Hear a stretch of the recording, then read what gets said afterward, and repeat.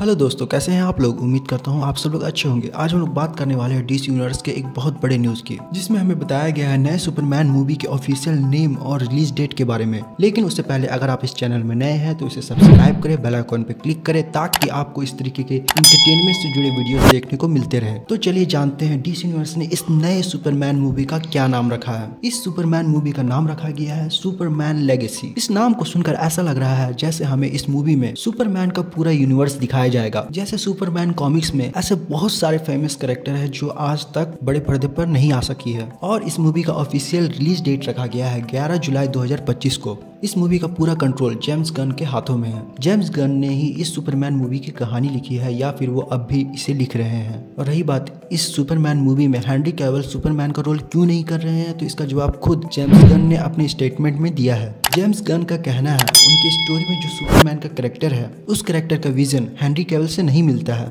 James Gunn ने इस Superman की कहानी एक बिल्कुल नए सिरे से लिखी है। इससे ये पता चल रहा है कि जेम्स गन ने इस सुपरमैन मूवी को किसी स्टार को ध्यान में ना रखते हुए सुपरमैन करेक्टर को ध्यान में रख के लिखा है। और हम सभी जानते हैं कि किसी मूवी की स्टोरी अच्छी रही, उसका डायरेक्शन अच्छा किया गया और एक्टरों ने अपना हंड्रेड परसेंट दिया तो उसे दर्शक बहुत ही ज़्यादा पसंद करते हैं। तो ऐसा शायद ही कोई दर्शक होगा जो उस मूवी को पसंद नहीं करेगा। इससे ये चीज़ हम लोग समझ सकते हैं कि जेम्स गन हैंनरी केवल से नफरत नहीं करते हैं। बस जेम्स गन ने जो सुपरमैन की स्टोरी लिखी है, उसमें जो सुपरमैन का करेक्टर है, वो हैंनरी केवल पर फिट नहीं बैठ रहा है। तो दोस्तों, आप लोग इस बारे में क्या सोचते हैं? क्या ये नई सुपरमैन मूवी पुराने सुपरमैन मूवी से बेहतर होगी? मुझे कॉमेंट करके ज़रूर बताएँ। अगर ये वीडियो आप लोग को अच्छी लगी हो तो इसे लाइक करें शेयर करें। हम अगले वीडियो में फिर से मिलते हैं। तब तक के लिए आप सभी को शुभकामनाएँ।